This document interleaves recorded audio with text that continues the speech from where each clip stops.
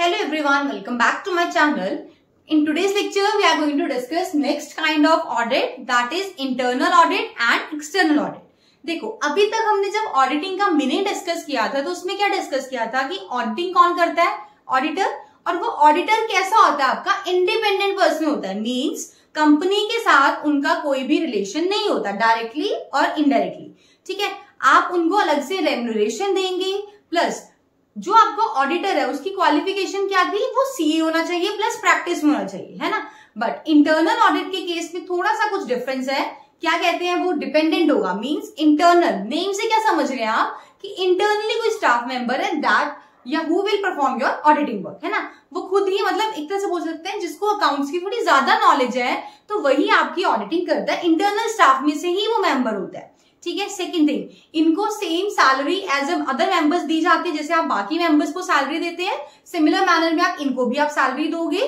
Third thing इनके लिए chartered accountant होना सीए होना मैंडेटरी नहीं होता, ठीक है?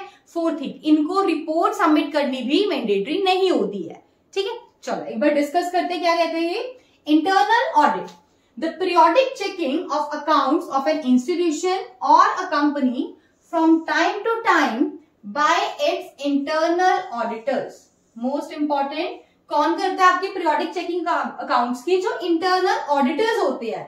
मतलब जब भी किसी कंपनी के internal auditors books of accounts को चेक करते हैं from time to time this is called as internal audit और इसे ही हम क्या कहते हैं? Internal audit this implies that accounts are examined by a person who is on the staff of the company और द इंस्टीट्यूशन ठीक है, जो भी आपका इंस्टीट्यूशन है, उसी कंपनी का ही वो पर्सन क्या होता है स्टाफ मेंबर होता है। अलग से आप उसे हायर नहीं कर रहे हो मीन्स इंटरनल रिलेशन है उनके साथ। नेक्स्ट क्या कहते हैं?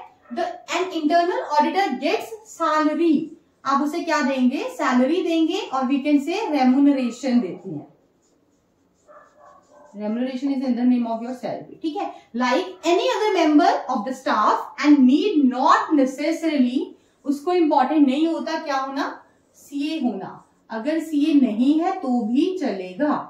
Clear the internal auditor examines only the account of employer and need not to submit any report और ये रिपोर्ट भी कोई सबमिट नहीं करेंगे।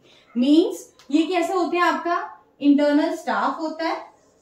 ठीक है? और इनका जो रिलेशन होता है कंपनी के साथ। मतलब ये क्या होता है? कंपनी के ऊपर डिपेंड होते हैं। सेकेंड थिंग क्या है? हमने क्या कहा? इनको आप, जैसे बाकी अगर मेंबर्स को सैलरी देते हो ना, इनको भी आप सैलरी दोगे। सीए होना मैंडेटरी नहीं होता। इनके लिए रिपोर्ट तैयार करके अपने एम्प्लॉय को देना मैंडेटरी नहीं होता। ठीक है? आई होप आपको इंटरनल ऑडिट समझ आ गया होगा। चलो, अब नेक्स्ट करते हैं हम एक्सटर्नल ऑडिट देखो एक्सटर्नल ऑडिट में क्या होता है कि ऐसी ऑडिट है जो कौन कर रहा है? जो आपका इंटरनल पर्सन कोई भी नहीं है मींस इंडिपेंडेंट पर्सन है। ऑर्गेनाइजेशन के साथ उस पर्सन का कोई भी रिलेशन नहीं होता, ठीक है? जो आप ऑडिटर अपॉइंट कर रहे हैं ना कंपनी के साथ किसी भी तरह का उसका कोई पर्सनल रिलेशन नहीं होता। सेकेंड थिंग सीए होना मैंडेटरी है। आप इनको अलग से सेपरेट से क्या देते हैं? रेमुनरेशन प्रोवाइड करवाएँगे। लास्ट आप जब ऑडिटर ऑडिट कर लेगा आफ्टर दैट उसे क्या करना होता है? रिपोर्ट सबमिट करनी पड़ती है, ठीक है? जो कि इंटरनल ऑडिटर के केस में नहीं था। उसने सिर्फ़ अकाउंटेंट टाइप होती है वो ऑडिटर है बट इंटरनली थे वो इंटरनल जमे। है ना? और उनको मतलब सीईओ ना इंपॉर्टेंट नहीं था क्वालिफाइड है, तब भी है अदरवाइज़ ओके है। उनको सिंपल हम सैलरी देते थे, जैसे अदर स्टाफ को देते थे। लास्ट उसमें था कि आप ऑडिट रिपोर्ट उन्हें नहीं तैयार करनी होती थी, ठीक है? इसमें सब कुछ रिवर्स चलेगा। चलो, एक बार डिस्कस करते हैं क्या कह रहे हैं ये। It is the inspection of books of accounts of an organization by an independent. कैसा होना चाहिए वो person by an independent and qualified chartered accountant degree उसके पास ये की होना मैंडेटरी है और वो सर्टिफाइड ऑडिटर होना चाहिए। ठीक है? The auditor is not related personally in any manner to the organisation organise देखो इंडिपेंडेंट तो तभी होगा ना। इंडिपेंडेंट तो तभी होगा जब कंपनी के साथ कोई रिलेशन नहीं होगा। अगर कंपनी के साथ किसी भी तरह का कोई रिलेशन है तो वो इंडिपेंडेंट ही नहीं होगा। तो हमें क्या चाहिए? Auditor must be independent from the company ठीक है? And is free to define the procedures and work independently and is paid predetermined fee पहले से डिसाइडेड की होती है कि इसकी फ़ीस क्या होगी, जो कि वो सर्विसेज़ दे रहा है। ठीक है मतलब कि उन्हें हम सैलरी नहीं देते, उनकी अपनी फ़ीस होती है जो वो चार्ज करते हैं और हम उनको प्रोवाइड करते हैं। ठीक है? Next external auditors conduct the audit of many organisation एक ही टाइम पर काफ़ी सारी ऑर्गेनाइजेशन की ऑडिटिंग की जाती है इनके द्वारा। At a time and give their reports और इनको रिपोर्ट्स भी तैयार करके अपने, अपनी मैनेजमेंट को प्रोवाइड करनी होती है। ठीक है? सपोज़ एक्स कंपनी है कोई? ऑडिटिंग की एक्स कंपनी की जो मैनेजमेंट है, उसको ये रिपोर्ट सबमिट कर देंगे। सिमिलरली कोई वाई कंपनी है, उसकी ऑडिटिंग की और आफ्टर दैट उनकी ऑडिटिंग करने के बाद उनकी मैनेजमेंट को ये रिपोर्ट सबमिट कर देंगे।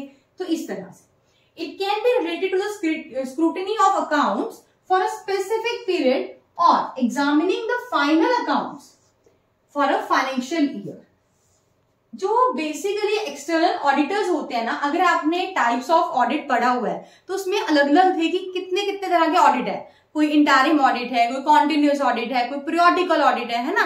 तो ये वही बोल रहा है कि जो एक्सटर्नल ऑडिटर्स होते हैं ना जनरली ये क्या करते हैं? एग्जामिन करते हैं फाइनल अकाउंट्स मतलब एट द एंड में करेंगे फॉर द फाइनेंशियल ईयर और इन्हीं ऑडिट को हम क्या कहते हैं? इंडिपेंडेंट ऑडिट ऑब्वियसली क्योंकि करने वाला पर्सन कौन है? एक्सटर्नल पार्टी है है ना? अब ऐसा क्यों बोलते हैं? क्योंकि इनका जो ऑडिटर है ना, वो कैसा होता है आपका? इंडिपेंडेंट ठीक है? कंपनी के साथ उनका कोई रिलेशन नहीं होता. That's why we can say that it is on non edge independent audit ठीक है? तो देखो, इसमें हमने four two five things discuss की है. फ़र्स्ट थिंग हमने डिस्कस की है कि वो इंडिपेंडेंट होना चाहिए. कौन? ऑडिटर सेकेंड थिंग सी होना चाहिए. ठीक है? फिर पर्सनली कोई भी रिलेशन नहीं होना चाहिए कंपनी के साथ, ठीक है?